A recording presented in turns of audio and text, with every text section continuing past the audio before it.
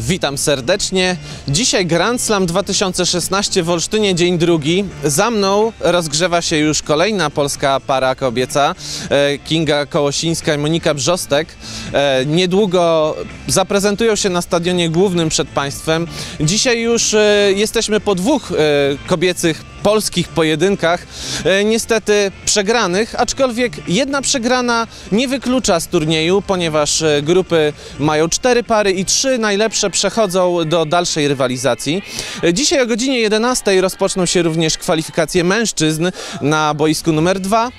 Ale to nie wszystko, ponieważ oprócz części sportowej mamy również imprezy okołoturniejowe. Dzisiaj po południu odbędzie się Kids Camp z Krzysztofem Ignaczakiem oraz wieczorem koncert zespołu Szantaż. Także zapraszamy serdecznie.